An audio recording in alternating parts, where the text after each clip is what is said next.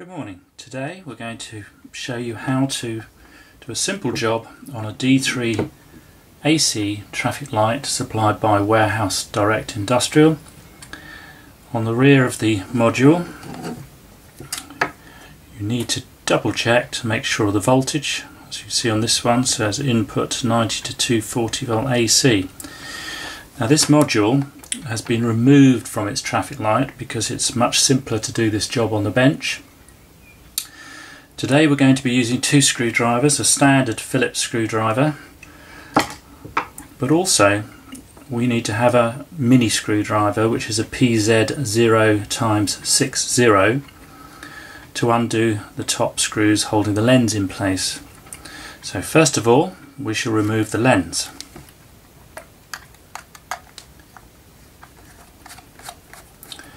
While I'm removing the lens I will tell you that just underneath the lens on one of the sides is a little notch and this notch is there to help you to relocate this lens when we go to refit it. We turn this around there is the little notch okay, and that's going to help us put that back afterwards.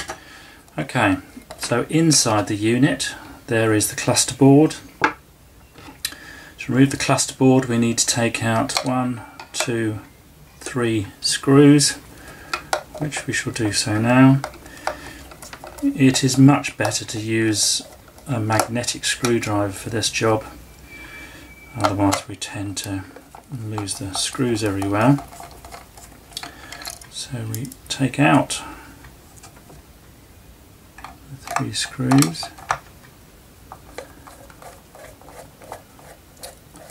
like so. And then we're left with the board in place. Sometimes it can be a bit stiff to get out. This one particularly isn't but if it is you just stick your screwdriver in there and prise it up a little bit. And then pull the board out. Now this is quite important this. Where this board is actually positioned at the bottom here there's a clip holding in place Please take note of which way round this fits into the clip. It'll only go one way and that is with a hook part at the bottom underneath this edge here.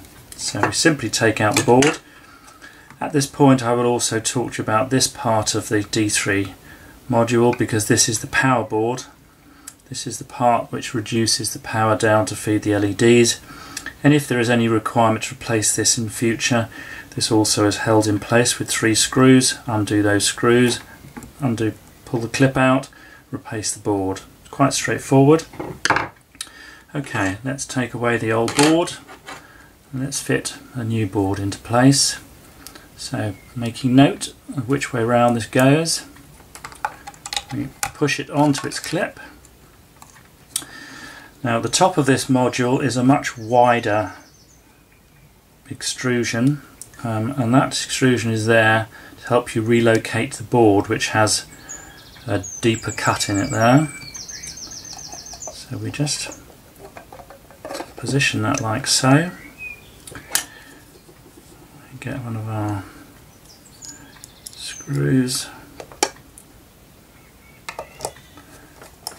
Place one in there